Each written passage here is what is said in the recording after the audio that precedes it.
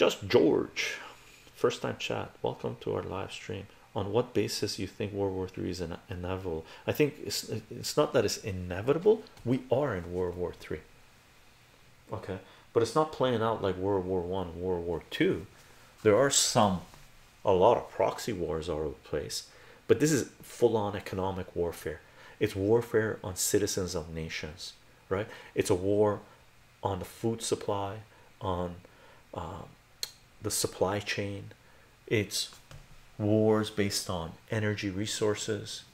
It's a war. This is this is more of a global war than World War One and World War Two. Okay. This war encompasses the whole globe. World War One and World War Two didn't encompass the whole globe. Not every country was involved. Right now, every country is involved.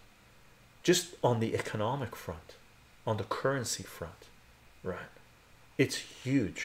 What's happening right now is huge, huge, huge.